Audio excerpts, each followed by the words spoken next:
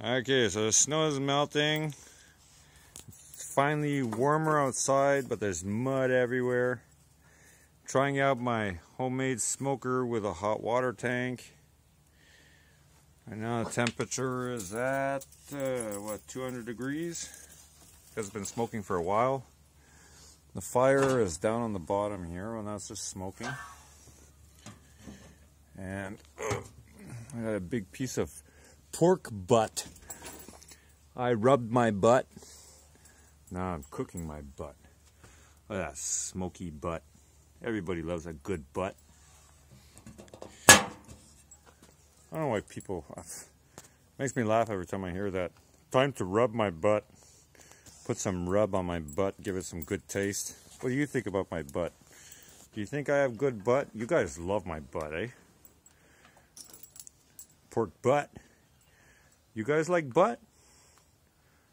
They baldy nums. Oh, you understand that, eh? You can see his head move when you say words at you. Manum, You like manum, eh? Do you like manum, Fee? Hey, girl? You like manum, You like manum, Anyway. That was just an update on this thing. I haven't put any paint on it yet. I still have to do other stuff. Like I don't even have a flue on it, so I stick a rock on the top so that the smoke comes out over here instead of coming out the top. Works really well. My fourth time using it. Tastes really good. Anyway, I just want to give an update. I never made an update on it. Still have some work to do on it.